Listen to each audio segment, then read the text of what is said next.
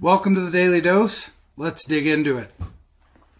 So, do you make your Excel, yourself accessible to your employees and your customers on a daily basis?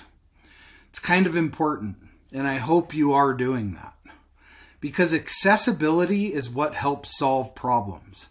Now, that doesn't mean you're the first stop for things. That's not what I'm saying. But having a good policy of accessibility for things to get to you is extremely important. Why? You're the head of the company. You lead the company. You have to be able to lead the way. And sometimes some of those things need to hit your desk. And when they do need to hit your desk, you need to deal with them quickly. But don't be the leader that is just shut off and think you just sit in your seat and all is well.